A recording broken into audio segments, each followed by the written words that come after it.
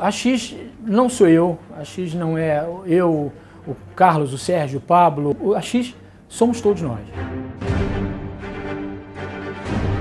A X Capital é, um, é a realização de um sonho profissional, sabe? É a minha vida, é o meu negócio, assim, é, é, e eu passo isso, eu tento passar isso para minha turma. Eu sou muito apaixonado por isso, eu vivo intensamente, eu trabalho 24 horas por dia, 7 dias por semana. Chega muito cedo, sai muito tarde, é, treina sábado, treina de manhã cedo, às vezes treina quarta, quinta e sexta, três dias seguidos para aprender algo muito rápido. Então a gente é uma equipe, é uma família, trabalha todo mundo junto e tudo em prol do cliente, utilizando todos os recursos que a XP oferece para gente. A gente está todo mundo, é, todo mundo trabalha a mesma vibração, assim, é, acho que é um sonho.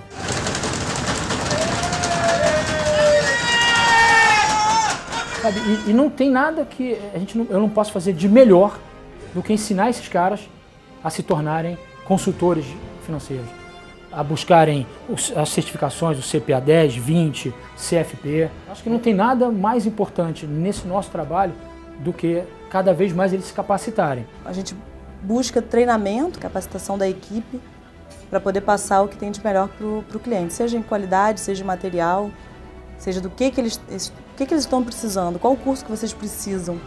A área educacional fica orientada para isso. Boa parte dos nossos clientes, eles vêm através da área de educação. A gente não inventou a roda, a gente só faz ela girar.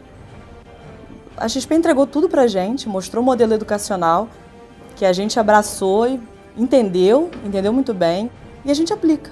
Simples assim. Poxa, mas como fazer então, já que vocês não inventaram a roda? A gente executa muito bem. A gente sabe que uma, uma área de educação ela oxigena o escritório. E mais do que oxigenar, ela democratiza a captação. É, você sai um pouco de eu preciso ter um grande network, eu tenho, uh, eu tenho amigos com dinheiro. Não, uma área de educação, todos nós podemos captar. 50 clientes em Apple A liderança, ela, ela é por exemplo. Assim, eu sei que é um clichê, mas é isso mesmo. Sabe, chegar cedo é importante. Como é que eu vou cobrar minha equipe de chegar cedo se eu não chego cedo?